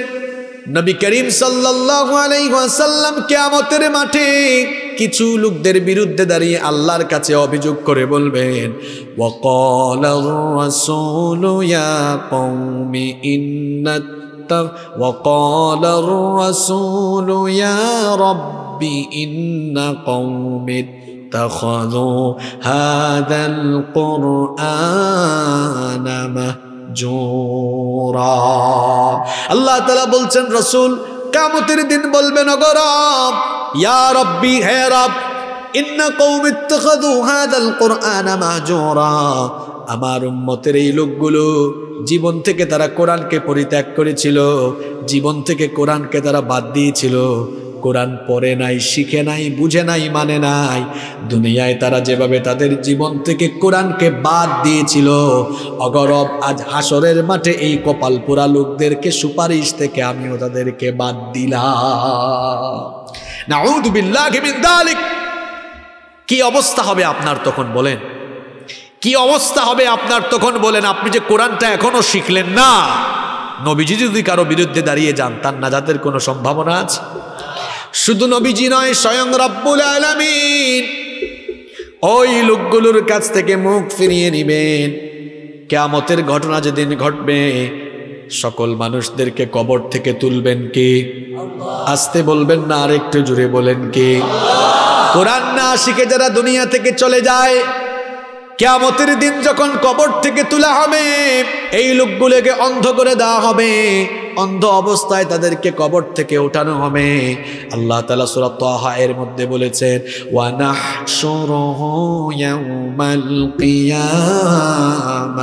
আমা। আল্লাহ তালা বলছেন, আমি এদেরকে হাসরের মাঠে অন্ধ করে দিব। হয়তো শরীয়তপুরের কিছু লোক সেখানে থাকতে পারে। তারা তখন বলবে, ওগো আল্লাহ, দুনিয়ায় তো আমরা চশমা ছাড়াই ক্লিয়ারলি চোখে দেখতাম। কেন আমাদেরকে অন্ধ করে দেওয়া হলো? তারা বলবে, কলা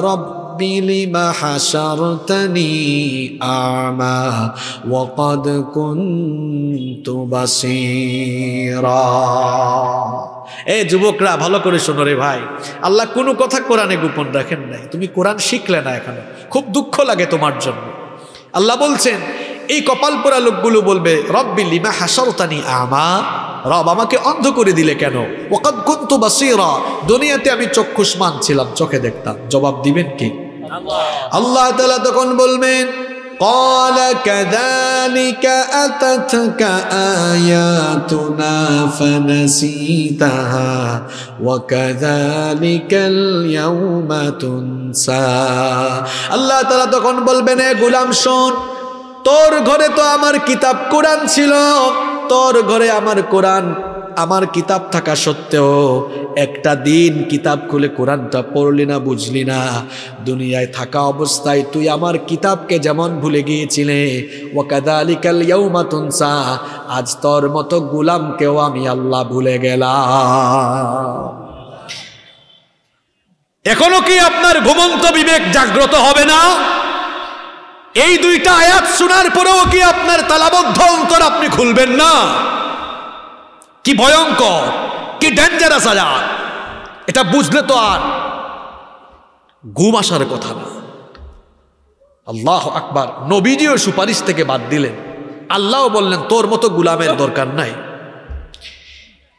কি মারাত্মক অবস্থা, এ যুবক ভাইরা, এখনও তো কোরআন শিখলা না। তোমরা যারা কলেজে বিশ্ববিদ্যালয়ে পড়ো, কিছুদিন আগে এইচএসসি পরীক্ষার রেজাল্ট দেওয়া হলো। তোমরা ইউনিভার্সিটিতে চান্স পাওয়ার জন্য বিশ্ববিদ্যালয়ে কোচিং শুরু করে দিয়েছ। অসুবিধা নাই। তোমাদের কেরিয়ার সুন্দর হোক, এটা আমরাও চাই। আমার প্রশ্ন হচ্ছে স্টুডেন্ট তোমরা যারা পড়াশোনা করছ, বিশ্ববিদ্যালয়ে চান্স পাওয়ার জন্য অথবা বিসিএস কেডার হওয়ার জন্য তোমরা ছয় মাস, এক বছর কোচিং করতে পারো। আল্লাহর জাহান্নাম থেকে বাঁচবা জান্নাতে যাবা আর জীবনটাকে কোরআনের মতো করে সাজাবা। এই জন্য কোরআন শিখবা। কারও কাছে কি যাওয়ার এখনও সময় তুমি পাইলা না? নিজের বিবেককে প্রশ্ন করো। মানতে গেলে জানতে হবে জানতে গেলে সন্তানগুলোকেও কোরআন শেখাইলেন না। ওয়াজ মাহফিলের আয়োজন হলো হুজুর আসছে হুজুরকে বললেন হুজুর মা বাবার খেদমতের ওয়াজ করেন। এক ব্যাককল ব্যাককল বোঝেন তো আপনারা? এক ব্যাককল গাছ গাছ লাগায় নাই। গাছ না লাগিয়ে ফলের আশা করে বসে আছে। বেকুব, ব্যাককল ফল পাইতে হলে তো আগে গাছের চারা লাগাতে হয়। তারপরে গাছের গোড়ায় পানি ঢালতে হয়। এরপরে এই গাছের পরিচর্যা করতে হয়। তারপরে এটা বড় হলে এমনি ফল দিবে। গাছ না লাগিয়ে ফলের আশা করা যেমন বোকামি। ঠিক তেমনি সন্তান জন্ম দিয়ে সন্তানের হক আদায় না করে, এটাকে দিনই শিক্ষায় শিক্ষিত না করে, তার কাছ থেকে খেদমতের আশা করাও ততটা বোকামি।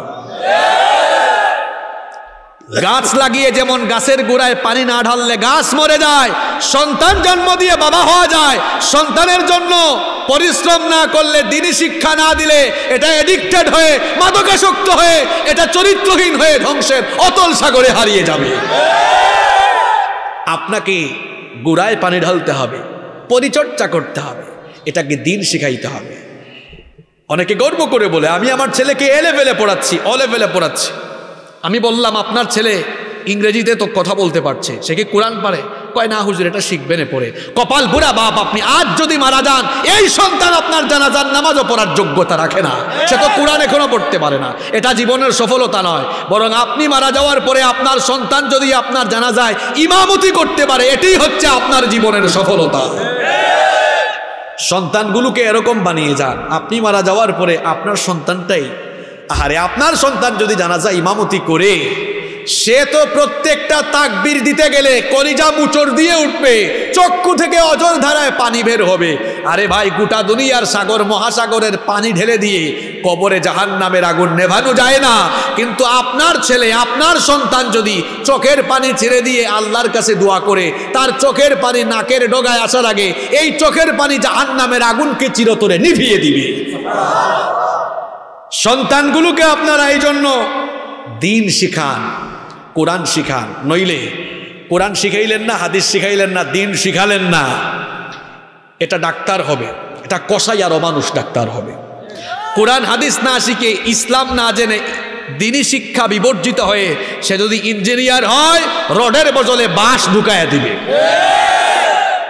আজ পর্যন্ত শুনেছেন কোনো হুজুর, কোনো আলেম তার মা বাপকে ঘাট ধাক্কা দিয়ে বের করে দিয়েছে ঘর থেকে?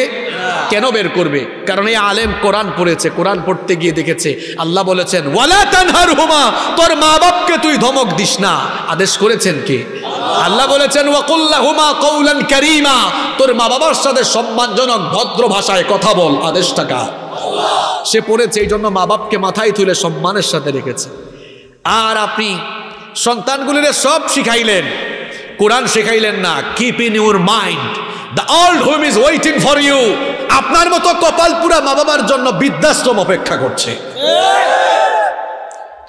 এই জন্য আমি বলছি, মানতে গেলে জানতে হবে, জানতে গেলে পড়তে হবে। সবার আগে আমার বাবারা, আমার যুবক ভাইরা, আমার বাবারা, আমার মায়েরা, বোনেরা, সবাইকে বলছি, আল্লাহর কোরআনটা শিখুন। এই যুবক ভাইদেরকে খুব ভালো লেগেছে আমার। এই যুবকরা এত সুন্দর মাহফিলের আয়োজন করেছে। এই যুবকদেরকে আজ আমি একটা অনুরোধ করে যাব। যুবক ভাইরা, অনুরোধটা রাখবেন? রাখবেন সবাই। যুবকদেরকে ভালো লাগে আমার, কারণ যুবকদেরকে অনুরোধ করলে তারা কথা দিয়ে ফেললে কথা রাখে। আপনারা খুব সুন্দর একটা মাহফিলের আয়োজন করেছেন। চেয়ারম্যান সাহেবও খুব আন্তরিক মানুষ। এখন সবাই মিলে এই এলাকায় যদি আপনারা একটা বয়স্ক কোরআন শিক্ষা কেন্দ্র চালু করতে পারেন, তাহলে কোরআন এখনও যারা শিখে নাই, ওখান থেকে কোরআন শিখে ফেলবে। আর যারা এই কোরআন শিক্ষা কেন্দ্রটা চালু করবেন সুভান আল্লাহ সত্যি জারিয়া হয়ে যাবে এটা আপনার জন্য। মানুষ এখান থেকে কোরআন শিখবে, আপনি সওয়াব পাবেন, আপনার মা বাবা সওয়াব পাবে। পারবেন না একটা কোরআন শিক্ষা কেন্দ্র চালু করতে? যুবক ভাইরা, পারবেন তো ইনশাল্লাহ একজন হুজুর এখানে, একজন আলেম রেখে দিবেন, তিনি সবাইকে কোরআন শিখাবেন। এটা রাজনীতিমুক্ত একটা দিনই শিক্ষা কেন্দ্র থাকবে, যেখানে উদ্দেশ্য থাকবে যারা কোরআন শিখে নাই, এরা যেন কোরআনটা শিখে। উদ্দেশ্য কি? যেন বিশুদ্ধ করে তারা নামাজটা পড়তে পারে। পারবেন না ইনশাল্লাহ আল্লাহ তৌফিক দান করুন। কোরআন শুধু পড়লেই চলবে না, এখন বুঝতেও হবে। কোরআন না বুঝলে অবস্থাটা কি হয়? ঘটনা একটা মনে পড়ে গিয়েছে আমার, বলব? কষ্ট হচ্ছে আপনাদের? এক লোক সুদ খায়, আবার আজান হলে নামাজেও যায়। দেখবেন কিছু মানুষ আছে, নামাজেও আগের কাতারে, সুদ খাওয়ার বেলায় এসে আগের কাতারে থাকে। আছে না নাই? আছে। এইরকম একজন সুদখুর ফজরের সময় নামাজে গিয়েছে। ফজরের নামাজ শেষ করে বাড়িতে যাচ্ছে। ভাতিজা সলিমুদ্দিনকে রাস্তায় পেয়েছে। কয়, ভাতিজা, তুমি যে টাকাগুলা নিলা, লাভসহ লাভসহ দেওয়ার সময় তো চলে গেছে এখনও তো দিলা না। আর ভাতিজা কয়, চাচা, নামাজ পড়ে বের হইয়া বুঝি এইগুলা বলেন না? আচ্ছা যান, বাড়িতে যান, আমি হিসাব করে নিয়ে আসতেছি, আপনি বাড়িতে যান। হ্যাঁ সুদ খুরইলে কী হবে? ওইদিকে নামাজও পড়ে। আবার বাড়িতে গিয়ে কোরআন বের করে তিলাবাতও শুরু করেছে। দেখবেন কিছু মানুষ এরকম আছে নামাজও পড়ে রমজানের রোজাও রাখে হজও করে জাকাত দেয়। আবার দেখবেন মানুষের হক নষ্ট করে মানুষের জায়গা জমিও দখল করে। সমান তালে নামাজও পড়ে নামাজে সাজদাও দেয় সমান তালে অন্যায় করে। আছে না নাই? সে বাড়িতে গিয়েছে বাড়িতে গিয়ে কোরআন খুলে তেলাওয়াত শুরু করেছে। যারা নিয়মিত কোরআন পরে দেখবেন, যেখানে শেষ হয় একটা চিহ্ন দিয়ে রাখে। পরের দিন ওখান থেকে শুরু করে। ঘটনাক্রমে এই সুদখুর নামাজি ওই দিন যে আয়াত থেকে তেলাওয়াত শুরু করেছে, আয়াতটাও ছিল এরকম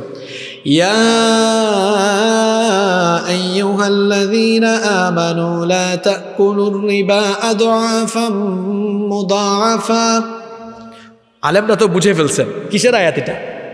হ্যাঁ? সুদের আয়াত। এই আয়াত তেলাওয়াত করতেছে, এই সময় আবার ভাতিজার টাকাও নিয়ে আসে চাচা, চলে আসছি তো। কয়ে ভাতিজা ডিস্টার্ব করিস না। কোরআন তেলাওয়াতে আসি আয় পকেটে ঢুকায় দে। এখন পরে কিসের আয়াত? কথা বলেন, পড়তেছে কিসের আয়াত? পকেটে ঢুকায় কিসের টাকা? আপনাদেরকে হাসাবার জন্য উদাহরণ দিয়েছি, না। কোরআন এভাবেই সারা জীবন না বুঝে পড়ার কারণে একদিকে কোরআনও পড়ি, অন্যদিকে কোরআন বিরোধী কাজও আমরা করি। এই জন্য আপনাকে কোরআন বুঝতে হবে। কোরআন বুঝলে আমার যুবকরা আজ মাদকাসক্ত হয়ে যেত না। আজ মাদক আমার যুব সমাজকে ধ্বংস করে ফেলতেছে। আমরা মাদক মুক্ত সমাজ চাই কি চাই না? মাদক মুক্ত সমাজ চাই কি চাই না? মাদক মুক্ত সমাজ চাইলে একদিকে মাদকের বিরুদ্ধে বক্তব্য দিয়ে অন্যদিকে মাদকের বৈধতা দিলে চলবে না। মাদক নিয়ন্ত্রণ, আইন না করে মাদক নির্মূলের আইন করা লাগবে। দেখুন এই মাদক আমাদের জন্য কতটা ভয়াবহ। আপনি যদি মাদকের বিরুদ্ধে কথা না বলে চুপচাপ থাকেন, মুসিবতে আপনাকেও পড়া লাগবে। আমাদের সিলেটের বিয়ানীবাজার উপজেলার তাজপুর গ্রামে গত সপ্তাহের এক ঘটনা। হয়তো আপনারা অনেকে সোশ্যাল মিডিয়ায়ও ঘটনাটি দেখেছেন, টেলিভিশনেও দেখেছেন। এক মুক্তিযোদ্ধা বাবা, তার সন্তান মাদকাসক্ত। মুক্তিযোদ্ধা বাবা, তার সন্তানকে, মাদকাসক্ত সন্তানকে মাদক সেবনে বাধা দিয়েছেন। বাবারে, আর মাদক খাইস না, মাদক গ্রহণ করিস না, তোর জীবনটা শেষ হয়ে যাচ্ছে। তো বাপ তো ছেলেকে বাধা দিয়েছে। এখন মুক্তিযোদ্ধা বাবা তার মাদকাসক্ত সন্তানকে মাদক সেবনে কেন বাধা দিয়েছে? এই জন্য তার ছেলে কুড়াল হাতে নিয়ে, কুড়াল বোঝেন তো আপনারা, কুড়াল হাতে নিয়ে নিজের বাপের মাথাকে দুই টুকরা করে মেরে ফেলেছে। এই ঘটনা কেন বললাম? আজ যদি আপনি স্বার্থের কারণে চুপচাপ থাকেন ঐশীর কথা কি মনে আছে আপনাদের? আরে ভাই, মাদক যদি সব জায়গায় সহজলভ্য হয়ে যায়, আপনার পুলামাইয়েরা, আপনার ছেলে মেয়েরা মাদকাসক্ত হয়ে ঐশীর মতো আপনাকেও তো জবাই করে ফেলতে পারে। আর মাদক যত বাড়বে, সমাজে বিশৃঙ্খলা তত বাড়বে। একশো জন মদের লাইসেন্সদারি যেখানে থাকবে, সেখানেই যদি মদের দোকান খোলার অনুমতি দেওয়া হয়, তাহলে তো মাদক গ্রহণ মানুষের জন্য সহজ হবে না কঠিন হবে? রাস্তায় রাস্তায় যদি মাদক পাওয়া যায় মনে করেন ড্রাইভার গাড়ি চালাচ্ছে, মাথা হ্যাং করছে, কারোর সাথে সমস্যা হয়েছে, গাড়ি থামাইয়া যদি এক বোতল মাইরা দেয়, এরপরে যদি গাড়ি চালায়, গাড়ি রাস্তায় থাকবে না, খালে বিলে পড়বে। তাহলে মাদক বাড়লে অ্যাক্সিডেন্ট বাড়বে না, কমবে। মাদক বাড়লে হাজব্যান্ড ওয়াইফের সমস্যাও দাম্পত্য কলহ বাড়বে। আমাদের এলাকায় এক লোক মদ খাইছে। মদ খাওয়ার পরে মানুষের মাথা কি ঠিক থাকে? সেন্সলেস হয়ে যায়। তো মাদক সরি মদ খেয়ে ঘরে গেছে। ঘরে গিয়ে তার বউকে বলতেছে, আম্মা, রাতের ভাত খাইছেন তার বউ কোনটা, মা কোনটা, এটাও সে। কারণ সেন্স তো সেন্স আউট সেন্সলেস তাহলে বলেন, এভাবে যদি মদ খুররা মদ খেয়ে ঘরে গিয়ে বউকে মা ডাকে, আর এভাবে যদি স্বামী স্ত্রীর মধ্যে কথা কাটাকাটি শুরু হয়, দাম্পত্য কলহ বাড়বে না, কমবে। সবচেয়ে বড় কথা হলো, আমরা নারী নির্যাতন বন্ধ করতে চাই। কিন্তু একদিকে যদি মদ, মাদক সহজ হয়ে যায় এই নেশাখুররা মদ খুররা মাদক খাওয়ার জন্য, মদ খাওয়ার জন্য। যখন টাকা থাকবে না, গড়ে গিয়ে তার বউকে পিটায়। বউ পিটায় বলে, যা, তোর বাপের বাড়ি থেকে যৌতুকের টাকা নিয়ে আয়। তাহলে বোঝা গেল, মাদক, মদ যত বাড়বে, নারী নির্যাতনও তত বাড়বে। বিশেষ করে আমার যুবকরা ধ্বংস হয়ে যাবে। আমার যুবকরা ধ্বংস হয়ে যাবে। যুবকরা কলেজে পড়ে, বিশ্ববিদ্যালয়ে পড়ে এরা ইয়াবাকুর হয়ে যাবে। এরা ফ্যান্সি ডিল নিয়ে ঘুরবে। এরা মাদক গ্রহণ করবে, সুতরাং যুবকদেরকে মাদকের হাত থেকে বাঁচানোর জন্য সব জিনিস তো ওয়াজ দিয়ে হয় না রে ভাই। কিছু জিনিস একদম কঠোরভাবে আইন করা লাগে। আমরা তো বুঝাচ্ছি যুবকদেরকে। আল্লাহ কোরআনে বলেছেন, ওয়ালা তুলকু বিআইদিকুম ইলা তাহলুকা। নিজেদেরকে ধ্বংসের দিকে ঠেলে দিও না। এই আদেশটা কার? যুবক তোমার যৌবন এভাবে নষ্ট করার জন্য আল্লাহ দেন নাই। এই যৌবনের হেফাজত করা লাগবে। এখন যুব সমাজকে ধ্বংসের হাত থেকে বাঁচানোর জন্য, দাম্পত্য কলহ, নারী নির্যাতন বন্ধের জন্য, সমাজকে এই অবক্ষয় থেকে বাঁচানোর জন্য, ধ্বংস থেকে বাঁচানোর জন্য আমরা দল, মত ভুলে গিয়ে মাদকের বিরুদ্ধে সুচ্চার আওয়াজ তুলতে হবে। শুধু আওয়াজ তুললে হবে না, মাদককে একেবারে অবৈধ ঘোষণা করে ফেলতে হবে। আইন করে মাদককে নির্মূল করতে হবে। মাদক নিয়ন্ত্রণ করলে ঝামেলা হবে। নিয়ন্ত্রণ করলে যে যে জায়গায় নিয়ন্ত্রিত থাকবে, ওই ওই জায়গায় গিয়ে তারা ডুজ মারবে। আর যদি নির্মূল করে ফেলা হয়, তাহলে আর গিয়ে তারা গোডাউন থেকে এনে এনে সেবন করার সুযোগও পাবে। আপনাকে দরজা জানালা খোলা রাখলে হবে না। দরজা জানালাও বন্ধ করে দিতে হবে, যেন আর নিতে না পারে। এজন্য আমাদের সবাইকে মাদক বন্ধের জন্য, মাদক নির্মূলের জন্য সোচ্চার আওয়াজ তুলতে হবে। আমাদের দেশের মাননীয় প্রধানমন্ত্রী, তিনি অত্যন্ত ধার্মিক মানুষ। আমরা সংসদে বক্তৃতায় শুনেছি, তিনি পাঁচ ওয়াক্তের নামাজ আদায় করেন, আলহামদুলিল্লাহ। আমরা আরও সংসদে বক্তব্যে শুনেছি, তিনি তাহাজ্জুদের নামাজ আদায় করে দিন শুরু করেন, আলহামদুলিল্লাহ। এটা তো বড় খুশির খবর যে আমরা আমাদের দেশে পাঁচ ওয়াক্তের নামাজি তাহাজ্জুদ গুজারি প্রধানমন্ত্রী পেয়েছি। সুতরাং আমরা আমাদের মাননীয় প্রধানমন্ত্রীর কাছে এই দেশের নাগরিক হিসাবে আমরা কিছু দাবি করতে পারি, এটা আমাদের নাগরিক অধিকার। আমরা আমাদের পাঁচ ওয়াক্তের নামাজি তাহাজুত গুজারি মাননীয় প্রধানমন্ত্রীকে বিনয়ের সাথে, শ্রদ্ধার সাথে বলতে চাই। আমরা জানি আপনি পাঁচ ওয়াক্তের নামাজি, তাহাজ্জুদ গুজারি। সুতরাং তাহাজ্জুদ গুজারি পাঁচ ওয়াক্তের নামাজি প্রধানমন্ত্রীর অধীনে পরিচালিত সংসদ থেকে অ্যালকোহল নিয়ন্ত্রণ আইন নয়, বরং আমরা আশা করি আপনি মাদক নির্মূলের আইন করবেন।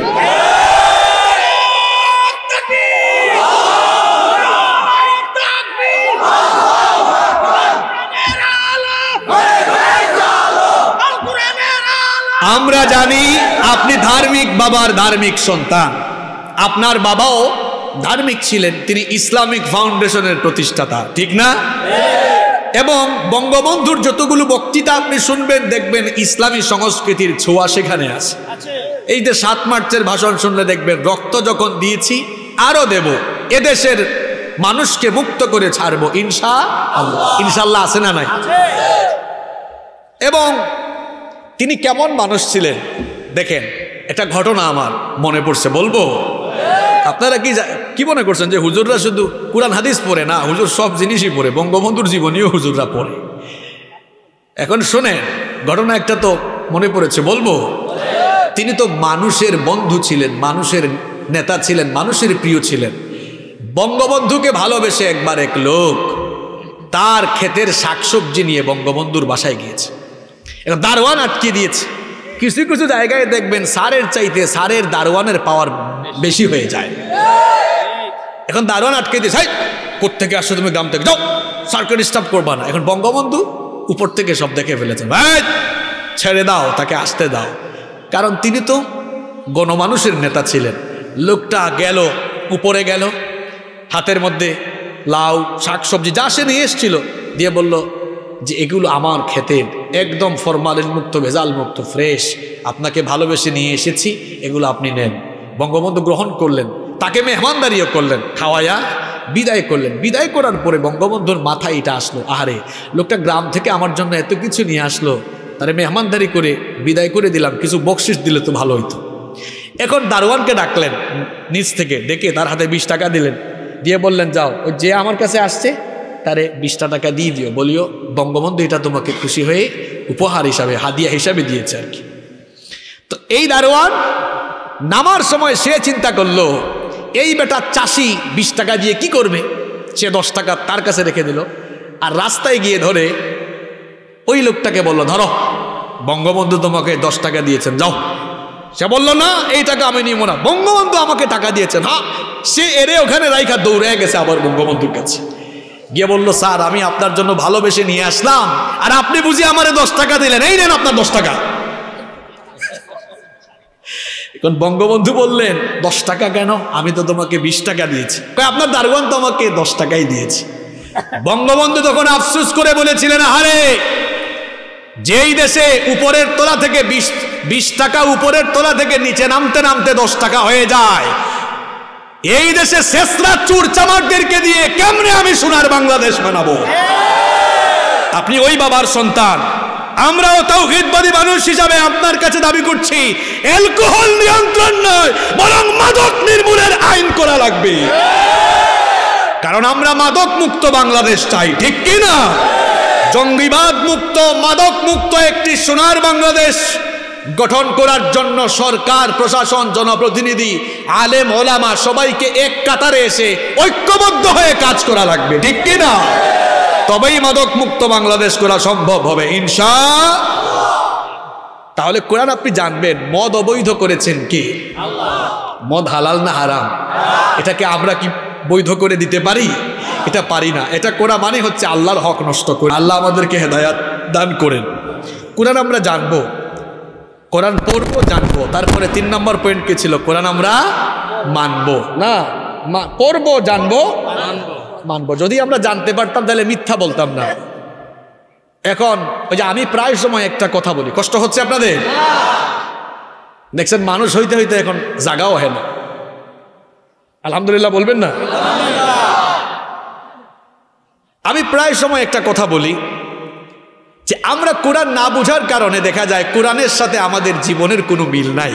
আমাদের ঘরে কোরআন আছে না নাই? আমাদের ঘরে থাকা কোরআন, এটা প্রিন্টেড কোরআন। আর যার উপর কোরআন নাজিল হয়েছে, আমার নবী ছিলেন প্র্যাকটিক্যাল কোরআন। সুবাহান আল্লাহ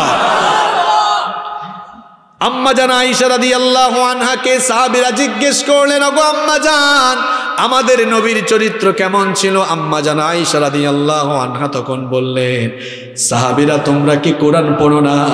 কোরআনের স্টার্টিং থেকে ইন্ডিং পর্যন্ত, কোরআনের শুরু থেকে শেষ পর্যন্ত আগাগোড়া যা আছে, আমার নবীর জীবনেও তা আছে। তাহলে বুঝা গেল, আমার নবী ছিলেন কোরআনের বাস্তব নমুনা, নবী ছিলেন বাস্তব কোরআন। আর আমরা কি হয়েছি এখন? কোরআনের সাথে আমাদের জীবনের কোনো মিল আমি এই জন্য আফসোস করে বলি, যদি হিন্দু, খ্রিস্টান, বৌদ্ধ, ইহুদি, অমুসলিমরা কোরআনটা একটু বুঝে বুঝে পড়ে আর মুসলমানদের জীবনের দিকে তাকায়, এরা শুধু মাথায় হাত দিবে, হায় রে হায় এটা কোন জাতের মুসলমান? কোরআনের লেখা একটা তারা করে। মিথ্যা বলা যাবে না কোরআনে আছে না নাই। আমরা মিথ্যা বলি, তাহলে কোরআনের সাথে আমাদের জীবনের মিল? মিথ্যা সাক্ষ্য দেওয়া যাবে না, মিথ্যা সাক্ষ্য দিও না। কোরআনে আদেশটা করেছেন কি, আমরা মিথ্যা সাক্ষ্য দিতে দিতে দিতে দিতে এত নিচে নেমেছি। বড় বড় আলেমদের বিরুদ্ধেও আমরা মিথ্যা সাক্ষ্য দিয়ে দেয় তাহলে কোরআনের সাথে আমাদের জীবনের কোনো মিল? কোরআন বলল, সুদ খাইস না। দেখা যায় মুসলমান নাম ধারণ করে সুদ খায়, কোরআন বলল, ঘুষ খাইস না। দেখা যায় মুসলমান ঘুষ খায়। কেন এই অবস্থা? কারণ কোরআন আমরা শুধু পড়ি কোরআন আমরা বুঝি না। যদি আমরা বুঝতাম, তাহলে কোরআনটা মানতে পারতাম। এই জন্য আজকের ওয়াজের বিষয় হলো তিনটা। কয়টা? আরও জোরে। আরে চেয়ারম্যান সাহেবের গ্রামের মানুষ, ইলেকশন করে আপনারা বিজয়ী হয়েছেন। নিশ্চয়ই অনেক বড় বড় স্লোগান দিয়েছেন, তাই না? তো এইরকম স্লোগান দিলে হবে। আজকের ওয়াজের বিষয় কয়টা? এই তো, আরও জোরে। কয়টা? পড়তে হবে, জানতে হবে, মানতে হবে, পড়তে হবে। বলেন, এক নাম্বার, দুই নাম্বার, তিন নাম্বার। পড়তে হবে শেষ, জানতে হবেও শেষ। তিন নম্বর, মানতে হবে নিয়ে এখন আমি কথা বলছি। কোরআন মানতে হবে, সব জায়গায় কোরআন ঢুকায় দেয় শিক্ষাঙ্গনে কোরআন ঢুকান। আচ্ছা আমার ভাইরা বলেন তো, আমাদের ছেলেমেয়েরা, সবার ছেলে মেয়ে আছে না? আমাদের ছেলেমেয়েরা যদি ইংরেজি শিখে, বিজ্ঞান শিখে, গণিত শিখে তারা যদি তথ্য প্রযুক্তি জানে, এসব জানার পাশাপাশি আমাদের ছেলেমেয়েরা যদি কোরআন জানে, হাদিস জানে, তাহলে আমাদের ছেলে মেয়েদের চরিত্র ভালো হবে না খারাপ হবে? তাহলে শিক্ষাঙ্গনে কোরআন থাকুক, আপনারা চান তো? কোরআনারা কি ঢুকাবেন? এখন ধর্ম শিক্ষা যেটা ছিল, ওইটাও বোর্ড পরীক্ষা থেকে বাদ দেওয়া হচ্ছে। জানি না আগামী প্রজন্মকে ধর্মহীন বা নাস্তিক বানানোর ষড়যন্ত্র চলছে কিনা। আসুন আরে ভাই, আমরা তো এক একজন, এক এক দল করি এখানে, অসুবিধা নাই। কিন্তু এটা আমাদের বড় পরিচয় না। আমাদের সবচেয়ে বড় পরিচয় আমরা মুসলমান। আমাদের প্রভু কয়জন? নবী কয়জন? কিতাব কয়টা?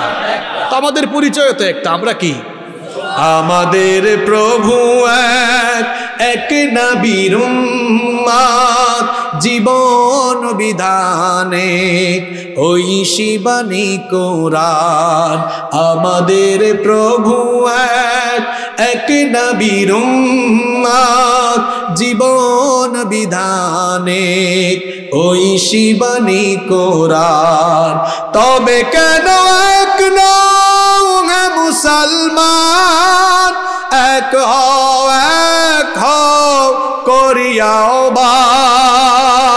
বলে না আমি। কিসের আওয়ামী লীগ? বিএনপি জাতীয় পার্টি জামাত চরমুনাই হেফাজত। এগুলো আমাদের রাজনৈতিক পরিচয় হতে পারে, কিন্তু এটা বড় পরিচয় নয়, আসল পরিচয় নয়। আমাদের আসল পরিচয় আমরা মুসলমান। আমরা যখন মসজিদে যাই, আওয়ামী লীগ, বিএনপি জাতীয় পার্টি, জামাত, হেফাজত, চরমুনাই, কাঁধে কাঁধ লাগিয়ে দাঁড়াই। মাহফিলও যখন আমরা আয়োজন করি, সবাই মিলে করি, তাহলে আমরা আমাদের কল্যাণের স্বার্থে, সমাজ সুন্দরের স্বার্থে, বাচ্চাদের ভবিষ্যতের জন্য আমরা কি সবাই একটু এক থাকতে পারব না? আমাদের বাচ্চাগুলো শিক্ষা দীক্ষা অর্জন করে, এরা সবাই নৈতিক হোক, চরিত্রবান হোক, আমরা সবাই তো এটা চাই। চান তো সবাই। এজন্য আমরা বলব, শিক্ষা ব্যবস্থার ভিতরে কোরআন ঢুকাতে হবে। তাহলে দেখবেন শিক্ষাঙ্গনের পরিবেশ সুন্দর হবে ইনশা সব জায়গায় যদি কোরআন থাকে আমরা যদি কোরআন মেনে চলতে পারি, তাহলেই দেখবেন আমরা জান্নাতে যেতে পারব। জান্নাত উপযোগী জীবন পরিচালনা করতে পারব। ইনশা আল্লাহ তাহলে কোরআন আমরা পড়ব, কোরআন আমরা বুঝব, কোরআন আমরা মানবো। ইনশা সবাই একমত? কোরআন পড়বেন তো? কোরআন পড়বেন তো? বুঝার চেষ্টা করবেন তো? মানবেন তো সবাই?